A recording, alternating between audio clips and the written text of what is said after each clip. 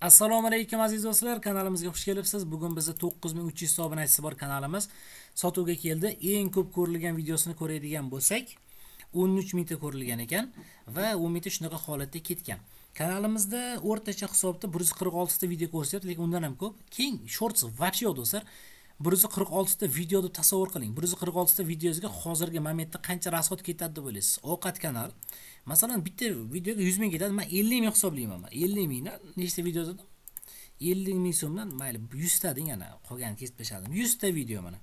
1 2 3 50 ming so'm bo'lsa bunaqasi beqinoldi berdim. 5 million so'm rasxod bo'lyapti do'stlar. O'sha 100 ta videoga 5 million rasxod ketyapti. Lekin kanal narxi вообще arzon. Kanal narxi bor yo'g'i 200 dollar do'stlar mana. 9000 mingta obunachisi va shuncha videolari bilan 200 dollarga sotib yuboryapmiz.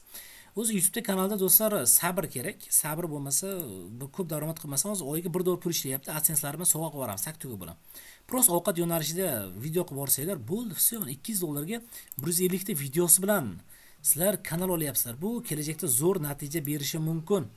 Lekin buni yurg'izishga albatta bog'liq. Mana antiqa salat napoleon torti bu shuncha расход qaranglar ey bor yo'q ikki yuz dollarga. Buni bilgan odam oladi bilmagan shunday yuraveradi dashman adsenslari bilan birga sovg'a qilib yuboramiz. Do'stlar hamma yoqni o'zimiz qilib beramiz. Adsens soliq poliq pul yechish hammasi o'zimizda. Mana oylar mana to'qqiz mingtalik kanal mana bir yuz ellikta videosi bilan ikki yuz dollar вообще arzon deb hisoblayman. Hozirgi kunda. Ketgan расход yarmi ham emasda.